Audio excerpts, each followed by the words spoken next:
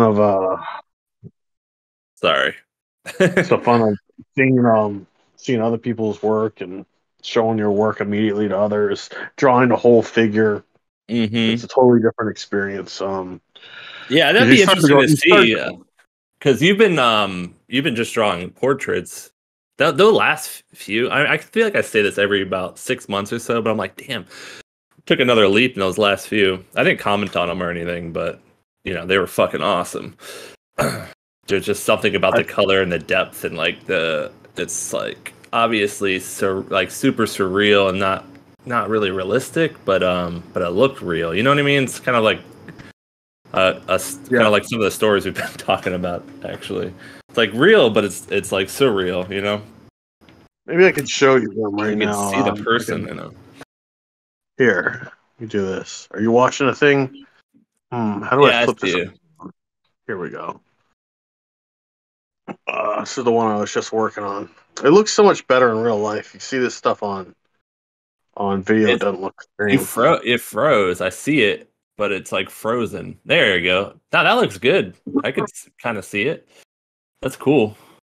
Yeah, Yeah, it this finally got Got them old ones, yeah. Yeah, so yeah, you started off. I remember now, like when you first started drawing again seriously, you kind of had this like black and white thing going, and then you quickly went to pastels. I guess the black and white is just charcoals, but you're always like a uh, pastel person. I mean, even in uh, Azel's class, you had the same kind of like style, I guess. Not style, but like um inclination towards certain colors of the pastel. Yes, and just the pastels in general. Everything's done super fast. Everything, Yeah. you know, you don't have to wait for things to dry. You don't have to wait. Um, like nothing's planned. It almost feels more like writing. In that Yeah. respect, when you're when you're really writing, you're not. You're just Mhm. throwing things in the paper and Yeah, it's like um work works. you get caught up in it, you know. Hopefully, if it's good. Sometimes I mean I've been drawing too a little bit. I've stopped for you know I've taken a break you know because I took it I started taking it too seriously and I'm like not drawing not drawing. so I took a fucking break from it because I was getting mad at myself about it. I'm a little fucked up in the head when it comes to art, I guess. But um, when I yeah so like so that was my problem i was having trouble getting in, into that rhythm but there it is similar it is pretty similar to like when you're in the um in the zone i guess with writing um I think I think I you're it's somebody some- sorry you're somebody who has to draw from something in front of them. yeah You know, and so so much of what you you're like your muse obviously was Laura. But uh Yeah. yeah you can only draw you only draw Laura so many times. You know? like you probably drawn her two hundred times by now. Uh, like without without hyperbole. probably i don't know about that many but Yeah, there's. I'm looking back at the wall here, and I'm. Uh, I have a. I had a. I had to take a bunch down, but I had a bunch on the wall that's behind me. Um, I'm trying to think which ones are from pictures. So I did have a really good. Like you could still really get into it with a picture, um, like it was like you're drawing a model. But those ones usually come out more. Um, I'm more like a slave to the details, you know. Like I want to uh, Yeah. get the a lot of the sh- a lot of the little minute details, and of course you can because it's a, obviously a picture. Like that when I drew a view uh, at Chris's house, I, I I was like, "Fuck it, I'm drawing the goddamn bricks on the wall and the bottles on the table," you know. yeah. um, so it can be it could be fun, but like the fun part about drawing, um, when you're not like thinking like that, and in a lot of cases when I'm drawing Laura, since it, she's like, "Hurry the fuck up." Not really, but um, I'm like, I gotta just go. you know, I just you just gotta go. Yeah. Um, Well, that's how you get to the subconscious is when you stop thinking about what you're doing and you're just you're just yeah. there. You're just there wherever wherever your subconscious is. So it is kind of similar to like poetry. I mean, it's. I mean, I- you could talk more on fiction than me, but um, that's definitely how it feels. Especially, especially like a really good like first draft. Um, when it just feel like I don't know. There's something. It has a similar. There's definitely a similar feeling you get from it, even though it's a different uh, mechanism, uh, material. There's like no material for writing, but you know what I mean. It's like uh, Do you know? Do you know the That's- old metaphor they used to use when you used to talk about writing a poem? You used to say it was like uh, somebody kicked you out of the airplane with a book bag full of like miscellaneous stuff, and you have to build a parachute before you hit the ground. that's what I used to say. Yeah, that was great. Someday you need to write a poem about that. Yeah. about that. I'm glad you have a memory on you. I've, I'm pretty sure I heard that at the um, Palm Beach Po- Poetry Festival. I forget who said it though, and I probably just you know co-opted it, but um, or I could have made it up. I don't know. I've made up a lot of shit back then. Well, it's a lot like teaching too. What's what I used to tell my students when they're asked, "What's teaching like?" I'm like, "It's like being kicked out of an airplane, you know, with a book bag full Yeah. of stuff." Yeah, hopefully you have a you've put enough stuff in your bag to to land Yep. safe. Otherwise, I mean, I'm sure you've had days like this where you're like just fucking free falling, and you're either gonna you know somehow like stick the landing or not. And that's what the whole sem- first semester felt like. It felt like, especially the first class, just like falling out of an airplane, hitting the ground, falling out of an airplane, hitting the ground, and yep. slowly developing wings from that, slowly developing uh, the tools I needed to to like effectively teach a class. Um, Mhm. The second class always went better because by then Yeah, you I had a- knew- the, the blueprint. I knew what I was what I was supposed to be. I like I realized finally what I was trying to do. You mean like um, teaching back to back classes of the same thing, right? Yeah, the second Yeah. class always went better. Um, but there are some classes like last semester, my first class they just had nothing. They had nothing. They it was like talking to myself the whole time. Fucking that, that was like You that was how my um, Zoom classes were, man. Like I always got lucky with my classes. Always had like one or two. And that's a thing, by the way. Like yeah, a lot of teachers just hope and pray they have like one or two. You know, and sometimes if you get nothing, it's it's it could be scary. then you're in it for a whole semester. You know. Did I show you what they wrote? because I only got spots from them. there was this one girl in the class named Michelle who was 15. Um, and was sitting in the front of the class and was yeah. just brilliance, just fucking brilliance, dude. Was talking circles and arguing circles around everyone in that fucking class, Yeah. putting them to shame. And so I would just talk to her the whole class. really. Um, Love it. you know and and eventually i'd be like when i start asking the class questions i wouldn't let her answer because i was like guys you cannot let michelle carry this class for you yeah. all right and and so i would shame them even when i didn't let her answer um so they wrote their spots and they're like yeah it seemed like he was just teaching to one student the whole semester Oh shit. I'm like well what are you gonna do you know like she's the only one engaged in the class and the material so naturally the material you know engages with her Well, that's the If that's it- just for the um people who review that. You know, like they're gonna whoever is reviewing that's probably a teacher too. So they they they know what that is all about. They know what that's like. So I wouldn't worry about that too much. no i'm not it's just funny it's The real the real one the real cutting ones are on uh, rate my professor because there ain't shit you can do about that. It's public. i haven't even looked at mine in a while i need to check it out Probably Last some time I looked at yours, they were fucking awesome.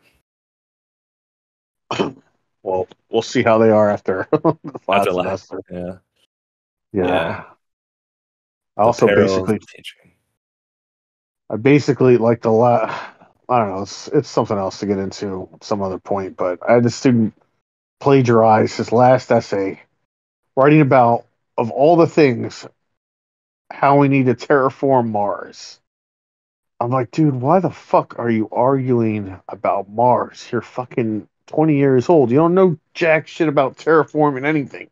You know, like naturally you're gonna you're gonna plagiarize because there's nothing else you can do because you don't you have no experience in the material.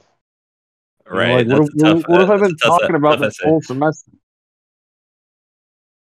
what, what was the prompt for that? Like, why did he choose that? Could it be anything? I I wrote I wrote that they could um, write about whatever they wanted. But I was teaching four classes, so I didn't get a chance to review everyone's thesis proposal before they started on them. Uh, that's key. And yeah. this guy did not meet. Um, he did not meet during the uh student teacher conferences that I had scheduled, so I didn't even get to look at his. It wouldn't have mattered if I had looked at it or not, because he wouldn't have, you know, he still would have done it, um, because he didn't come meet during the conferences. So he doesn't find out until afterwards, like after I look at the thing. Which, by the way, it comes back like it's an obvious plagiarism case. You Right, know, he's he plagiarized way. And even when he came in, he's like, "I didn't plagiarize anything. I tried to reword everything that I was, you know, that I found off the internet." I'm like, "Well, that's that's still plagiarizing. what you just said is the definition of so, plagiarism." so he didn't even know what the fuck he was doing yeah, until you he, had to he was just tell a jackass. Yeah. It was more like a plagiarism by stupidity than it was plagiarism by maliciousness, but um he wasn't too happy with me after I, d- I did shit like that uh, once or twice, like early on, comp one, I think. Um, not to like out myself or anything, but yeah, I'm pretty sure I uh, reworded some shit because I didn't understand um, what like I didn't understand like you that taking from the the the way I was taught to me is that you just you can um, read a source and use that source and uh, paraphrase it or whatever.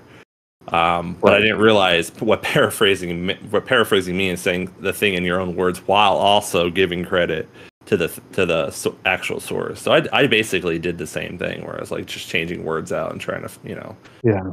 So I see. I'm more think we're all forgiving stupid stuff- It was stuff point. done out of ignorance more than maliciousness. If it was, uh, see, that's the thing. Your, your teacher probably figured the same thing. This kid's probably, this kid's not doing something malicious. He's just doing something out of ignorance. And let me just teach him the right way to do this.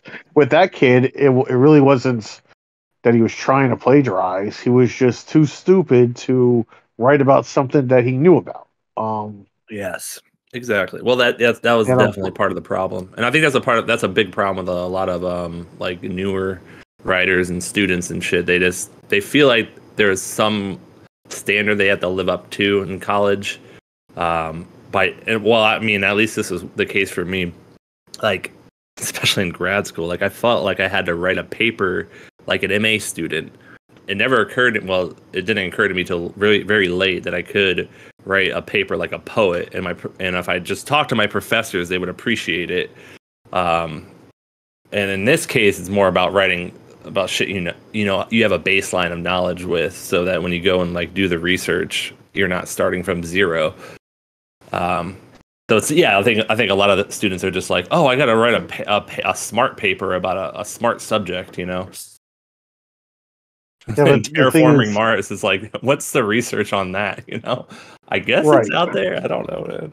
There's probably No, I'm sure there is. articles about it. I'm sure there's there's articles, but you haven't like built any of the machinery. You haven't studied any machinery. You haven't studied any of the theory.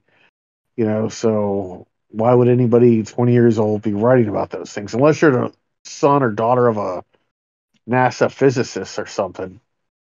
You know, and your parents are coming home and talking and explaining about this stuff.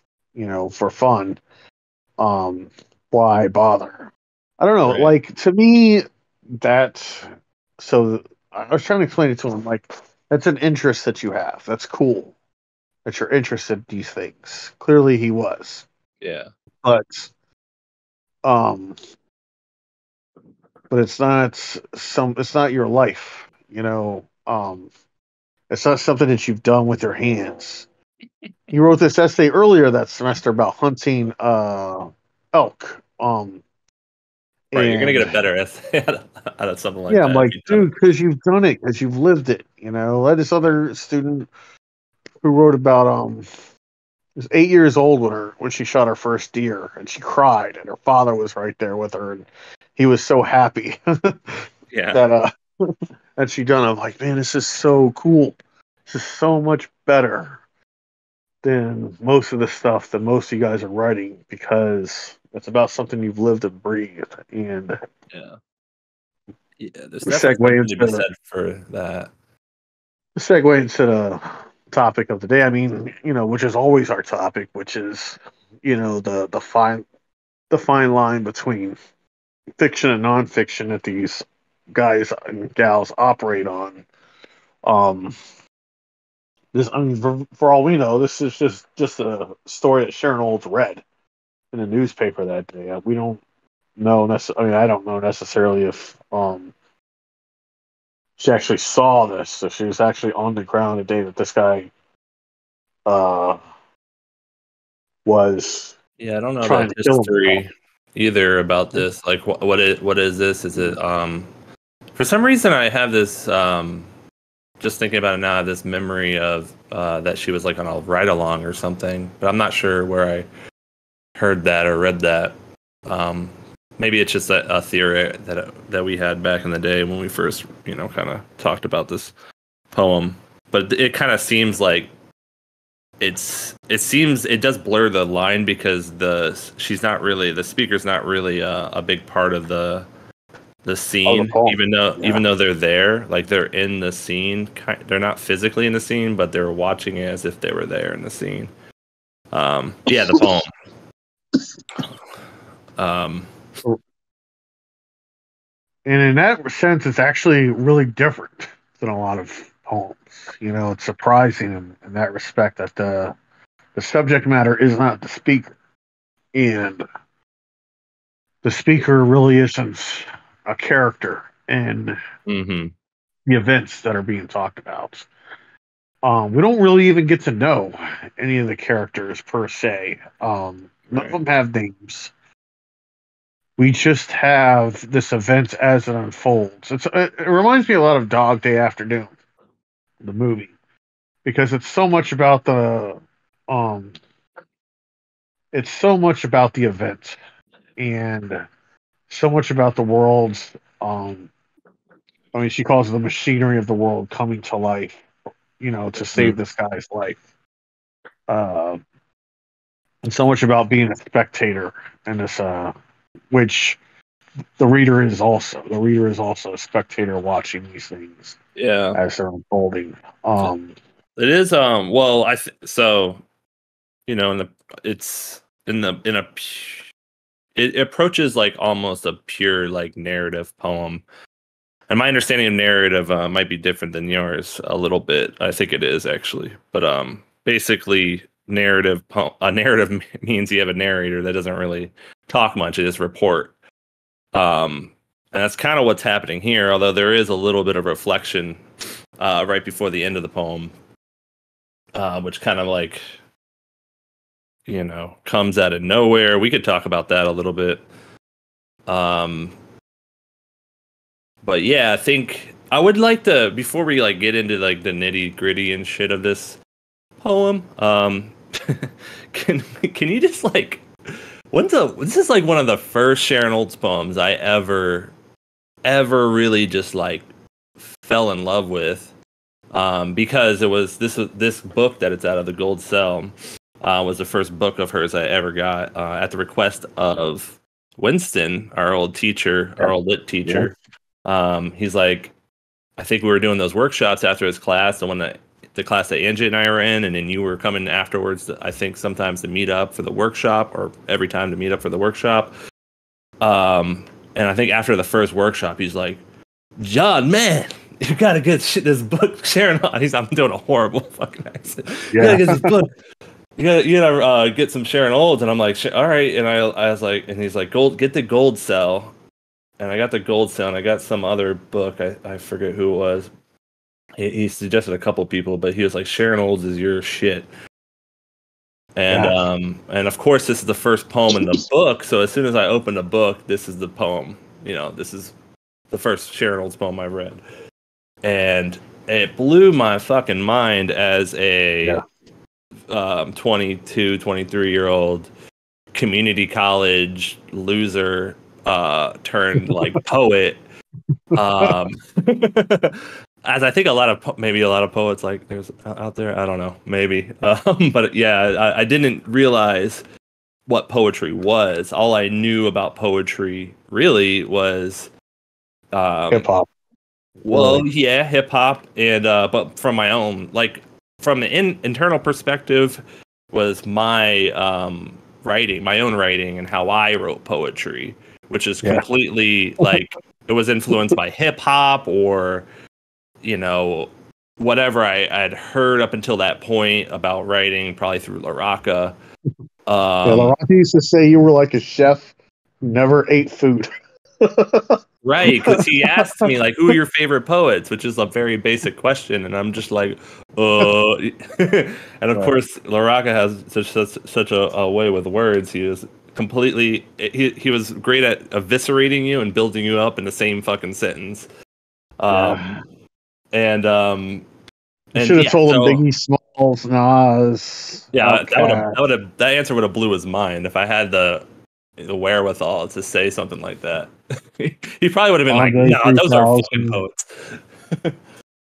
but uh, yeah. Yeah. that's that's it basically. That and uh, obviously the hoity-toity notion of what a po- poet was. You know, Shakespeare. Yeah, you probably read some E. Cummings a little bit. and Some Yeah, maybe. Maya Angelou and some Shakespeare.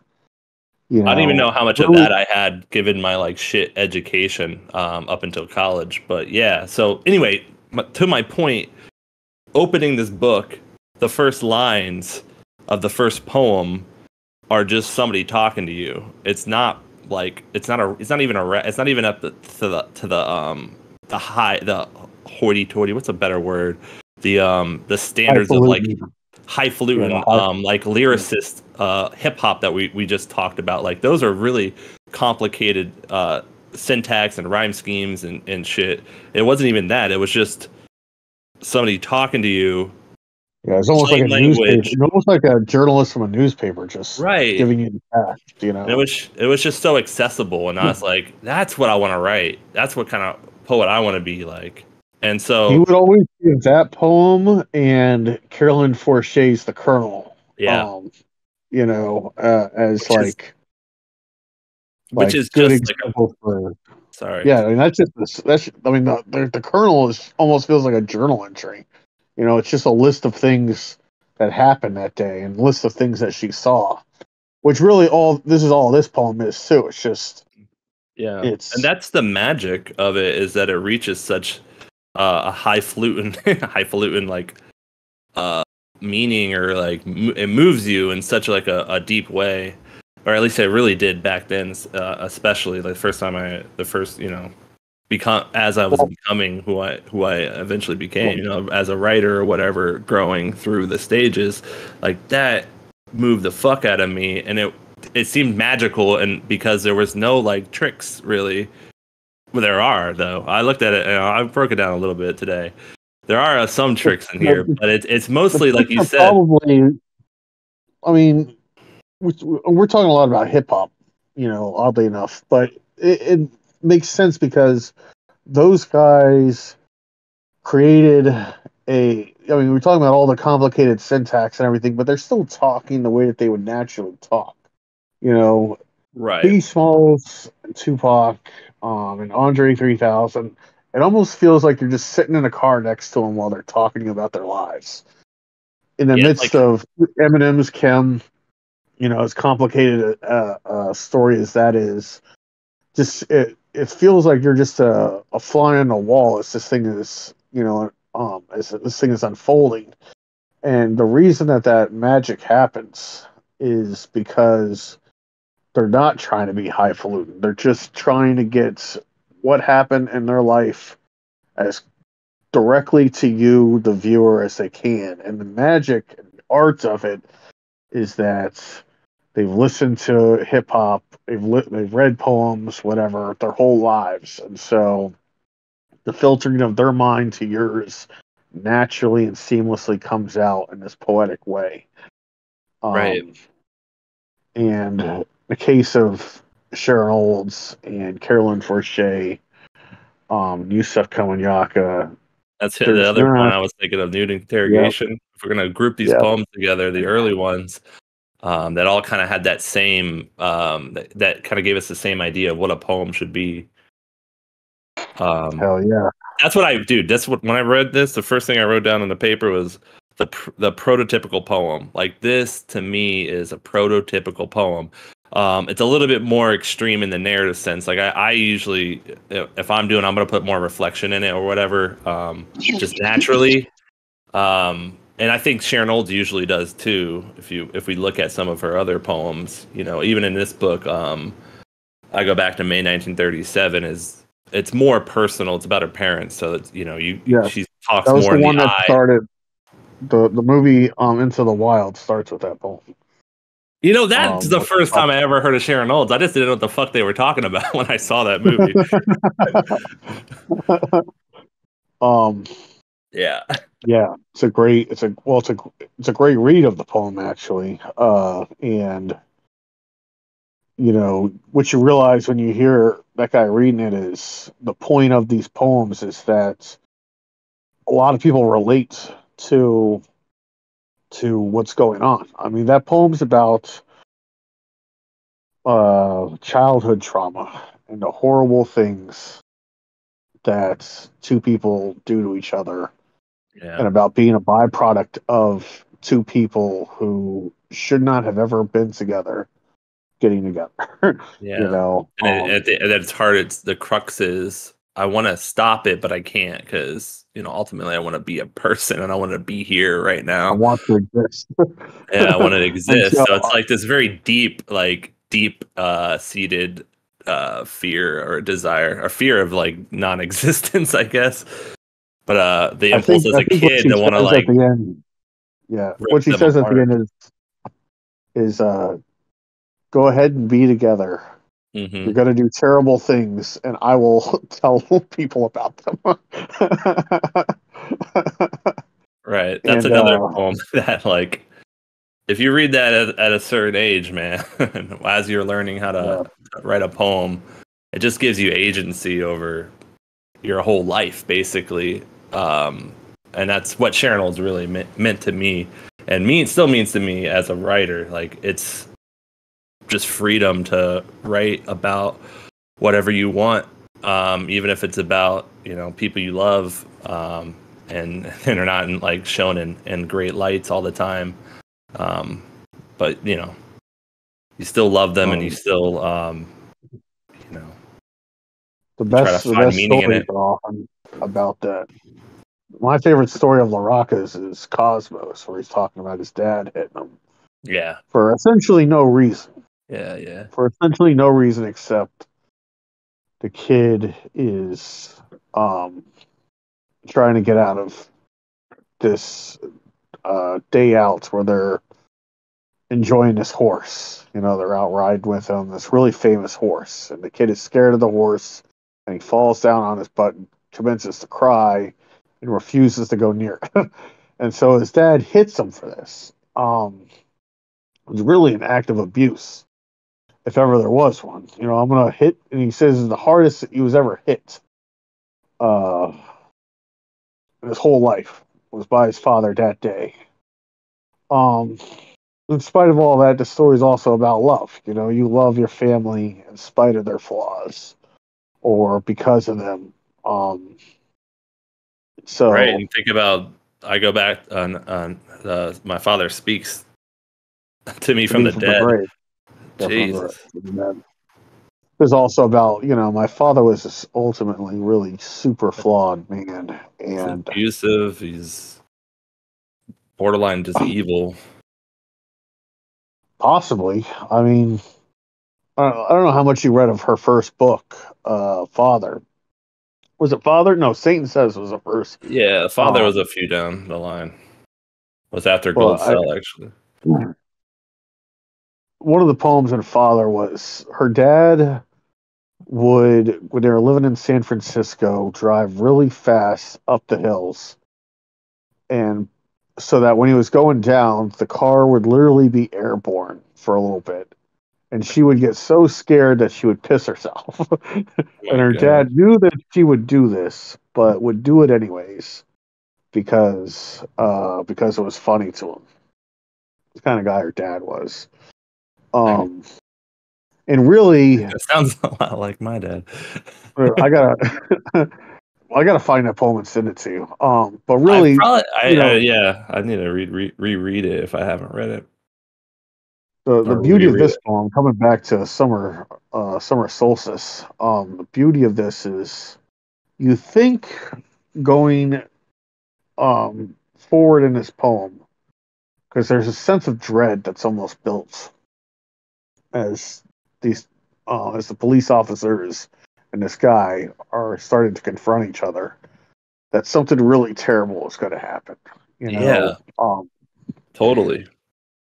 and you can tell that that's what the the speaker and that's what the people on the ground are expecting to happen. It may even be what the police are expecting to happen. You know, they're they're getting on their bulletproof vests, they're putting Now- these ropes around their shoulders.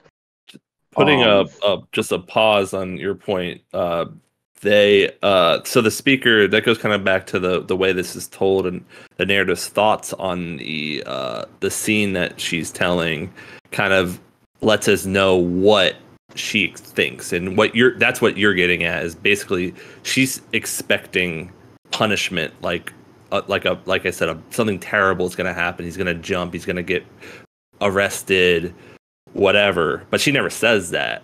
It's just how it's written. So that's a, that's kind of an interesting way to write a poem. Yeah, and in fact, it's I mean, it's one of her most effective poems. Um, the first line, by the way, was on the start of, or was it on the start or at the end of the By longest the end day of the the longest year? day, yeah, By the end of the longest day, you know, which kind of makes you feel like it's it's just too much life has been burdened on this man. You know, it's the longest day of the year, and he can't take it anymore.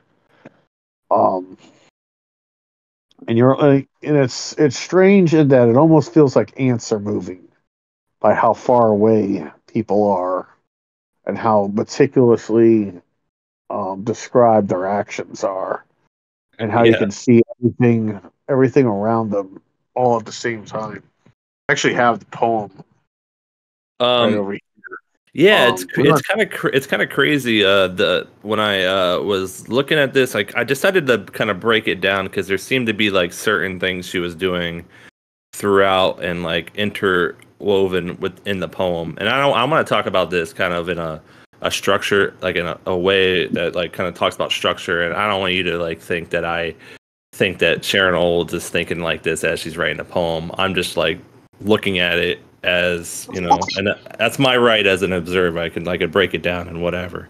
Um, but if you look at it, it it is all one big scene and there's certain things that are happening in it. And the big thing that you notice over and over and over and over again is how much action there is, how much movement. She, people are doing things. You know, he's he's running up the stairs. He's um, on the he's he's on the ledge. The machinery of the the earth begin, and she describes the cops. All this all this stuff's happening around him. The the net is being splayed. The crowd is gathering. Um, the cops are approaching slowly, slowly, and he, then he steps down. And there's all this like minute action um, that kind of goes along with what you're saying with like in minute detail. Um, not only that, of course, all the action is combined with like scene building shit like setting, description, the characters who are described, like you said, at a distance, no names. Like, uh, you know, when she says the machinery of the earth, she gives this um, big abstraction, but fills it in with all this detail. That's another thing she does that I noticed throughout the poem. Um, here and there, she has these big flourishes, abstractions grounded in scene. That's a big lesson you could take from this poem. If you're gonna use abstraction, ground that shit in scene, ground it to a, a, a noun, something fucking uh, concrete. Like the huge. Let's talk about that line. Then the huge machinery of the earth began to work for his life. That works. Why does that work? You we already got the setup of the um the poem. This guy's gonna kill himself. The machinery of the earth. You kind of have an idea what that is already, but then she goes and explains it in minute detail. So that that abstract, like weird flourish of a line gets sandwiched by all this concrete stuff, so it makes complete sense. Um, Yeah. ano- another one example of a flourish that I saw was while his his leg hung over the next world, um, squatting next to his death, like these abstract kind of flourishes that she kind of just she's pushing it. She's pushing it. You know, she's like pushing into a different uh, realm. You know, a little bit with her, not kind of literally, I guess, d- d- depending on the subject matter. But she is like reaching for something in those lines um, that make the poem special. And those are those are things that kind of like stick with you. And and the last thing um, are the images and like the similes, really uh, that she just throws in here and there that also like kind of like anchor the poem down into this like very memorable scene. Um, their suits, you know, the describing the cops. The first one I saw was uh, their suits were blue, gray as the sky on a cloudy evening, bulletproof vest, black shell around his life. Um, the cop coming out of the roof, like the gold hole that's in the top of the head. That was a fucking weird one, and she, I think she named her book after that. Um, hairy net, um, placeable grid, uh, spread out like the sheet to receive at a birth, etc. I can go. I mean, there's a few more, and it ends on one as well. Um, so man, it's just like it's not just a scene because if it was just a scene, all she had to do was say, "This guy's going up to a you know to the building, and this is what the building looks like." Uh, but no, it's like there's all this energy, and I think that's what we mean when we talk about energy in writing. Is that like all this shit just like pops out. You know, the similes pop out of the scene. Um, yeah. And this is the nat- the nature of writing when you are uh, disciplined enough to commit to it. If this is how you want to write a poem, by the way, um, you you commit to that scene, you start building it, and then boom, the blue gray like the like the sky on a cloudy evening. Um, he, he's sitting next to his death you know his shirt's glowing like a, a petri dish. Uh you know like she, she didn't say that. It's it's better than that. But uh you know shit just pops out of the scene um like that. And eventually she gets to this point where like the the to me this is what blew my mind when i first read the poem all those years ago is that last scene it's a resolute it's yeah. it's the last scene i should say that last uh simile image um and the red glowing ends burned like teeny campfires. It was not just a cool image but it, exp- it like makes it super anti. You know you said ants. It like goes way out you know away from the personal and and makes and and delivers the feeling without saying what she was feeling uh, of the scene, and it also does more than that. It relieve it, it it goes towards a resolution. You know, there's a whole story arc happening in this poem, um, just through imagery and simile, and you know, uh, because she allowed herself to get there through the scene. And it's you know, uh, it's another one of those those writings uh, that. Before I go too long, I'll stop in a sec. Um, it's another one of those works that kind of ri- kind of reminds me of um, the Philip Roth story we talked about, and not just because you know it's about this is about an actual suicide, like almost suicide, but um, not because of the similar uh, imagery, but because it's like it's almost it's leak proof, you know, it's just perfect. It it just came out uh, in a very in a way that can't be taught, uh, not directly, and um, you know you can't really you can't change a thing about it. Uh, like if this went up to the workshop into a workshop, I don't know. It just it defies all that. I don't know. It, it, it stands on its own, and um and that's why I preface everything I said about breaking down the different elements, because you know I think while she may have learned how to write a simile, maybe I think it just came. I think similes come naturally to Sharon Olds, kind of like Leo um, in a way that that obviously can't be taught, but it can be cultivated. Um, and I think the way she's cultivating it is learning the the boring parts of writing, you know, like establishing the scene, um, and and allowing for those things to come more naturally than they otherwise would. Because if you don't have the scene, you're forcing all the similes. If you don't have the scene, you don't get these cool lines like the machinery of the earth or the uh, leg hung over the cornice, like the like it like the over the lip of the next world. You don't get lines like that. You don't get obviously you don't get the ending. Um so like the campfires that uh started mm-hmm. at the beginning of the world. Yeah, you so know, which like, like the, the point of the poem is it's really just me, a culmination that, of um you know a master at the height of their powers, really, as a writer. Yeah. Yes, yes, yes. She was also having fun. You know, Yes. you, you experiments when you have fun. You let yourself be silly, and you let yourself, um, you let your mind, uh, make connections that you wouldn't normally make in your conscious mind. You know. Yeah, Um, we're talking about someone who probably had a lot of trouble having fun with poetry, giving given her uh, early subject matters of their family and um, you know religion and all this shit. So yeah, this one she's like she let herself kind of. I think it worked. I think it works because of that because she kind of let herself outside of her um, outside of her perspective a little bit, and that's kind of what the poem's all about. Well, yes, it's about. It's definitely unique because Sharon Olds is somebody who very much writes about the people in her life the majority of the time. And I don't know if she's ever branched out of her family as successfully as she has in this poem. Um, she had a couple other poems actually about a serial rapist and murderer, uh, but she always connected it to herself you know, and to the fear that she had when she read the stories. This is something totally uh, outside of her experience, at least as far as I know. But still, Right. It, it is an anomaly, like work. like um she does have anomalies every once in a while um and they're usually her best poems uh when they work i guess there are probably some that don't work but um uh, another one is that my father speaks for sure is a is a big ano- anomaly even though it is about her father just the way it's told is uh you know it's like a one time deal you know like she's not going to write a whole series of just poems from his perspective as a ghost.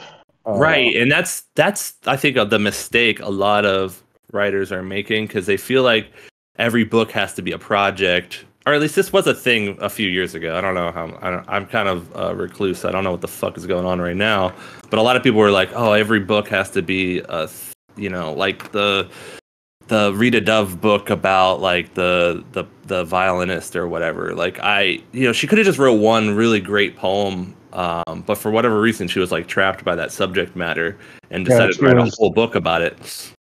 And the she was obsessed father, with, uh, with this black violinist. Um, yeah, Right.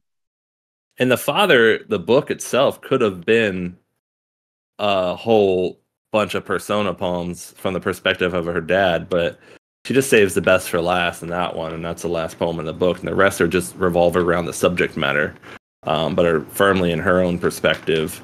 Um, so there is a difference. It's like there's a difference between taking like a trick and trying to extend it for as long for as much juice as you can get, and like then you know just honoring the thing you're obsessed with and writing a bunch about it um, because you get a lot of different weird poems in their own right, even if they are about the same thing or about different aspects of the same thing.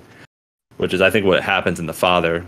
Even though there are some, I mean, any book of poetry, there, there, there are definitely drags, but uh, Well, you go through stages in life, right? I mean, you had a stage where you were writing nothing but letters.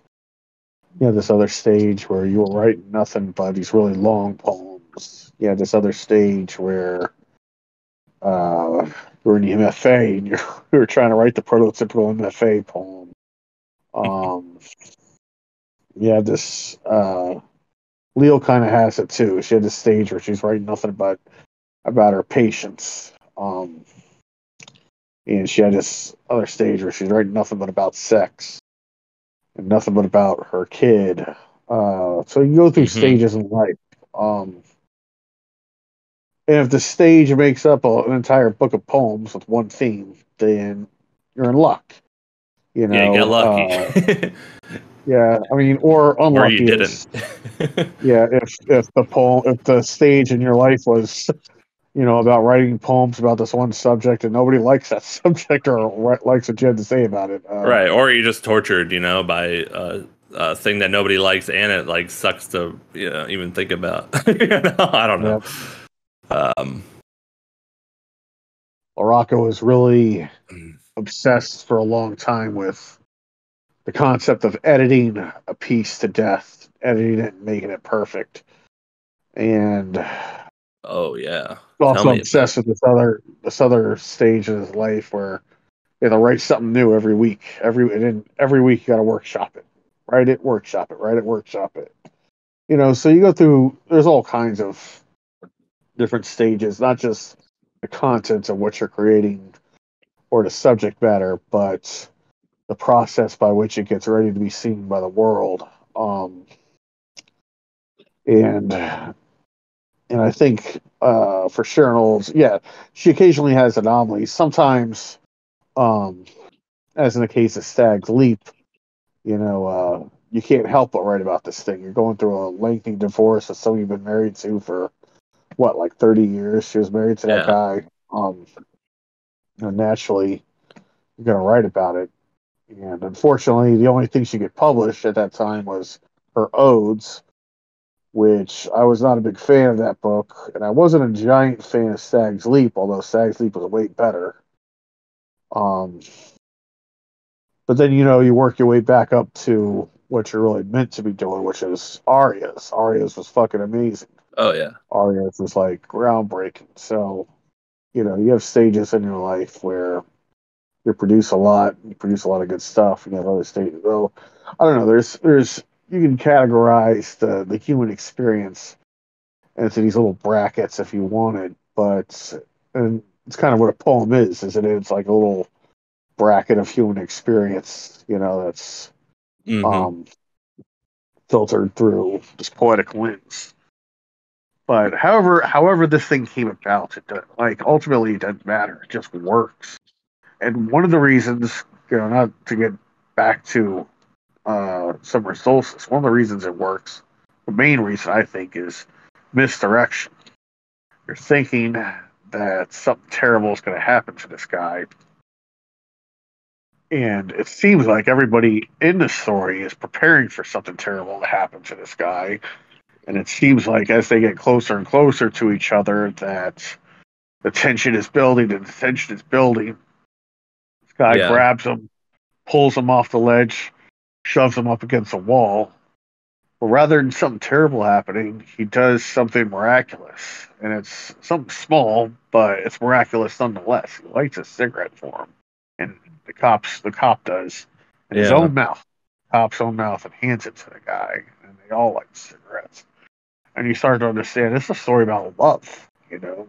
Yes. Um And what you're describing is um, the turn, um, Right. which is without it, it's just a bunch of action with no, you know, nothing, no climax, you know, and that moves into the the climax. climax should have been this guy falling to his death. Um or a lesser story would have been uh, the cop beating him, you know, the cop um, or shoving him down. But Sharon Olds is captivated by the humanity in all these people. Um, and she starts to understand that, uh, you know, and we could talk about how background influences home. You know, Sharon Olds, the main abuser in her life, we've talked about it already, was her father. So you start to think, growing up in a household like that, that all men can do to each other and to women hurt. But she Right. realizes by the end, the epiphany, which is, which happens in the head of of the speaker, as as she delivers it to uh, the reader, is none of this would exist if men didn't learn how to cooperate. Men didn't learn to love and trust one another. Mm. you I didn't know, even think about it um, like in terms of how she views like men, which which is a really good point given all the poems she's written about her her dad and the way No, this poem what all that's implied in this poem up until that turn uh, about what she kind of expects to happen, uh, but doesn't. Nobody will ever convince me that this poem is anything other than a poem about men. men are the only characters in the story. you know, um, none of them have names.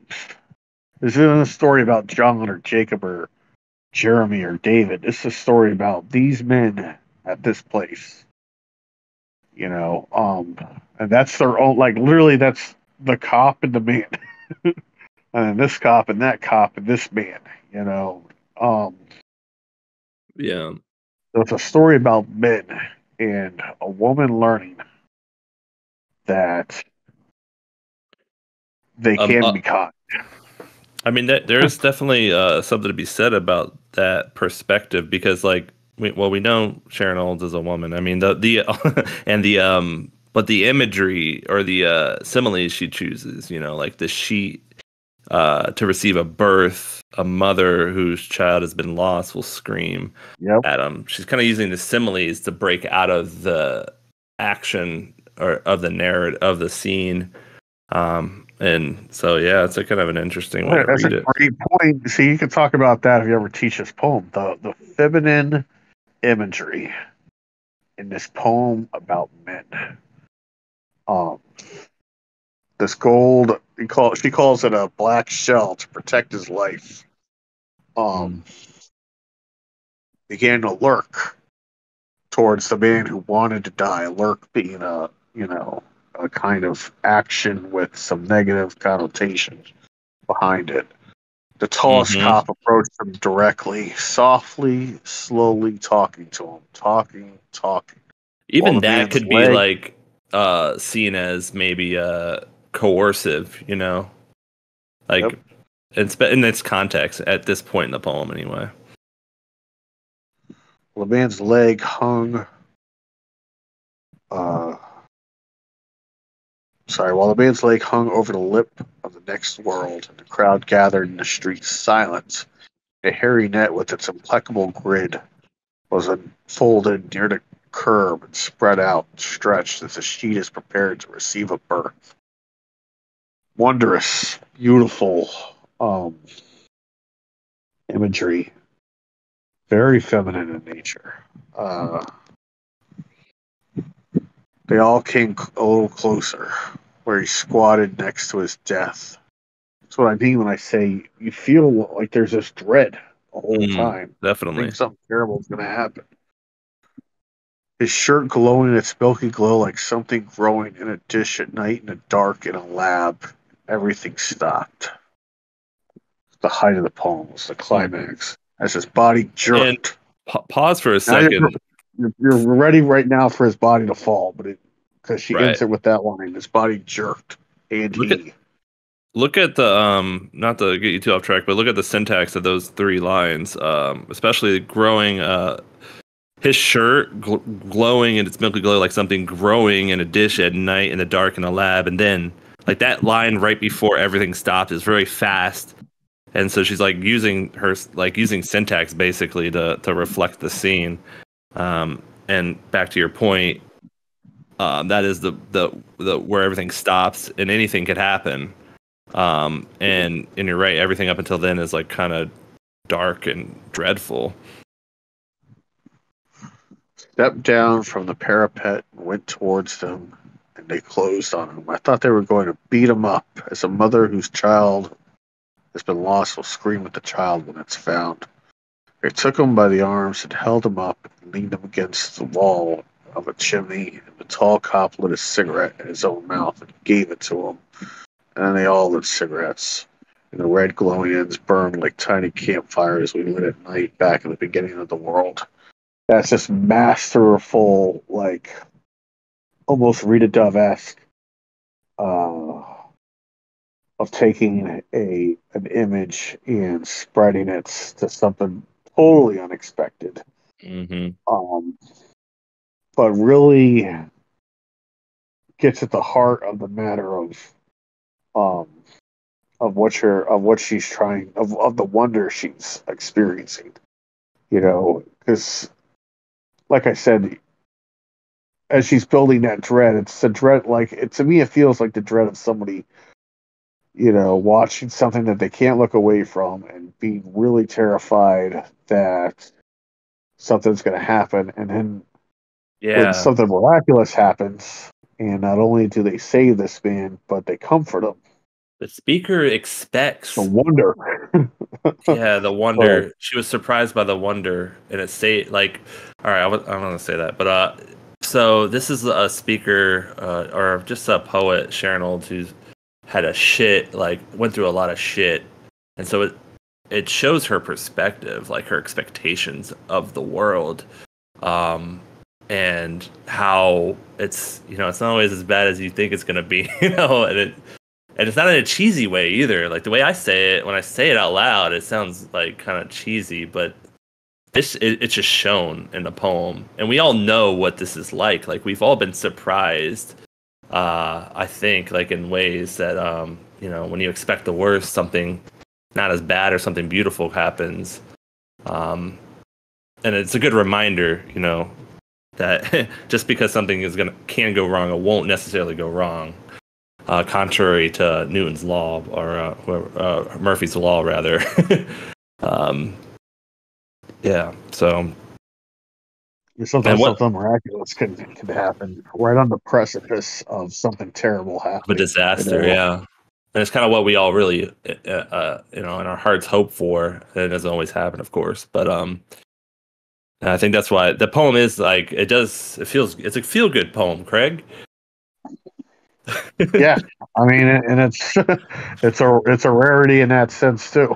yeah, yeah. How many poems have that kind of like hope uh, in them? Uh, not uh, it's tough, you know, because we usually turn to poetry for heartache, um, and catharsis. Well, under, understand like, heartache and uh, to to be relieved from heartache by knowing that other people have gone through similar things, but it's a it's a conundrum, isn't it? To think about what's a time in my life in which something wondrous has happened. You know, I thought something terrible was going to happen, and instead, uh, we get you know something wonderful happened. Um, adding to the power of the poem, it's not it is not exactly. Uh, we, are t- using words like magical or wondrous, and um, but it's still like just grounded in a very uh, in, a, in reality. You know, uh, in a way that you know. Right. I mean, they didn't all title, start making you know? out, jacking each other off. you know, they didn't like you didn't hear party animals or music start playing or everybody starts dancing. I mean, it's well, I mean, like, I, I kind of mean like it's a, it's like an everyday, not every day, but it's like a thing that can happen at any time, any almost anywhere, you know. And in New York, obviously, makes it a little bit more extreme because the buildings are so damn tall. But um, anybody could. It's a sad miracle to too, because this guy's life is still going to be what it was. Whatever, right. whatever, whatever, um, sent him up to the top of that building still exists in his life but it's a so it's a small miracle, you know. Um, but right, it's and it's not implied. Way, you know, it's, it's there's nothing to imply that you know that whatever made him change his mind. I guess you know the fact that people seem to give a fuck in one for one moment. Um, that's not enough to build a life on either. You're right about that. And it's the world is still the world, you know, right. and that's the other thing that artists have to come to terms with as they're writing or drawing or whatever, making music, is that the world is still the world, and you still have to deal with it on its terms. Um, and Sharon Olds is great because she never forgets that. You know, at any point, at least in, in any of her best work, um, it's a celebration of the world as the world actually is, but it's never forgetting that the world is also this really terrible place in a lot of respects. Yeah. You know, as Louis C.K. says, the best thing you can hope for is that you get old and die.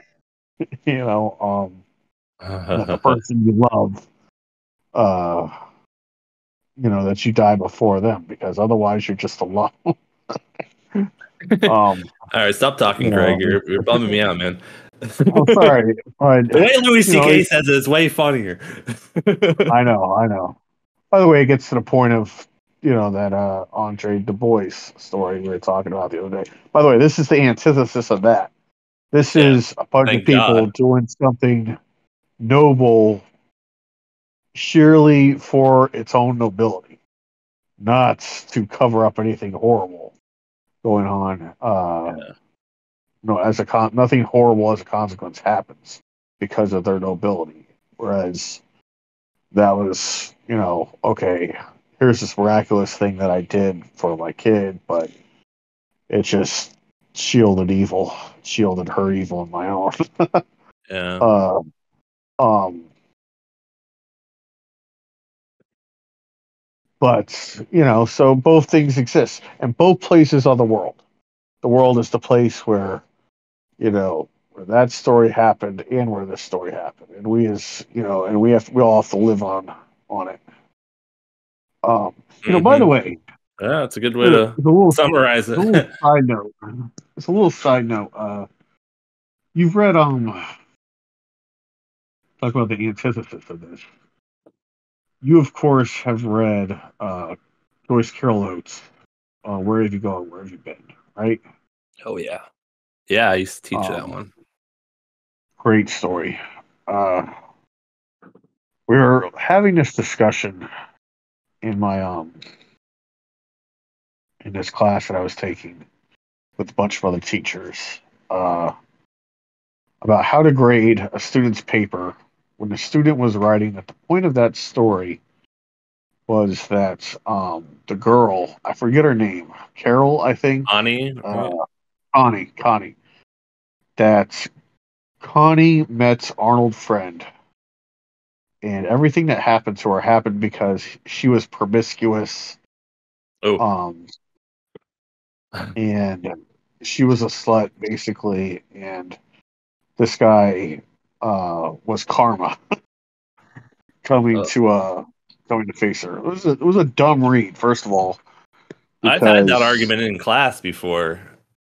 I didn't really have to even say anything. I think all the women in the class were like, "Fuck that shit," or at least a couple Well, people were just just like, "Fuck true. that shit." Yeah, that's just, Like, it the- is the just point of- dumb. it could be true. Like if she wrote it like that, it's not like it's not possible. But like, I don't think so, man. She didn't write it like that though. Obviously, the point of yeah, that yeah, yeah. story is, is that arnold friend when he shows up at your house there's nothing you can do. It doesn't matter whether she was a slut or not. She's dead and that's all that there is to it you know? And the surprise of that story is that she does do something noble for her family um to leave with him and to to to sacrifice herself for the sake of her family. Um that's the nobility that happens in this 14 year old girl. She comes to that catharsis that uh she has it in her to give her life up. Um, which by the way is a kind of also a kind of miracle you know? Um, is it a heartwarming story? No. Mm, but uh, pure but I, I feel like yeah it's, it's pure horror um, disguised think- as, uh, you know, I think that, uh, literary fiction. I think that Sharon Olds had that view of men you know had that Joyce Carol Oates view of men um, and that this thing happened in her life either she saw it or read about it or imagined it or whatever we don't know um, the background of it. It doesn't really matter how the poem came about. All that we know is um, that it works. But she saw men doing something miraculous, doing something totally noble for the sheer nobility of doing it, and everything turned out great. And that's why, uh, that's probably why this story and this poem meant so much to you. You know, um, early on, it's because it's like, goddamn, somebody can write about something truly miraculous happening, use ordinary speech to deliver it to me Mhm. with very subtle, you know, um, poetic flourishes that aren't so jarring that they take you out of the poem. In fact, they immerse you even deeper in it. Um, by the way, every line of the poem is an image. Um, almost every line delivers an action or a reflection on an action or a reflection Yeah. on an image. Um, so that everything's something's always happening. So much happens Mhm. in a poem that's only like what twenty lines long, if that.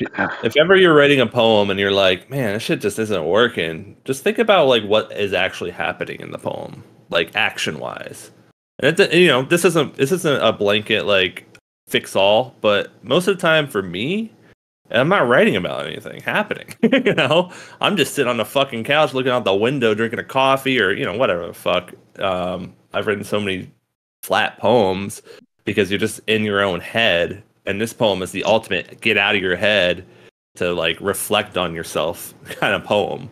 Um, even though yeah, well, there's no literal reflection, we all we came to a lot of conclusions uh, because we know Sharon Olds a little bit as a writer. Um, but yeah, this is like the ultimate get out of your your head, show some shit happening kind of poem that I think people should write more often, um, even if it's not like kind of your your uh, main uh, mode of writing. It might not be your prototypical poem, like it kind of like I want it to be for me, um, but it, it's definitely something to learn from. Like I coming back to this, I need it, it reminds me to take that with me, you know, into the next poem maybe. Yeah, right about this time something unexpected happened, and um, I'm I'm talking like plainly, like have things happen in your goddamn poem, people. Yeah, like real human things. Moments of human significance. That's what we used to talk about. You know, people falling in and out of love.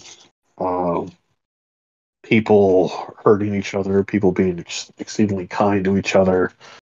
Um, just the drama of life, you know, so much, so much happens in this world. And by the way, you can write about things that don't even happen to you.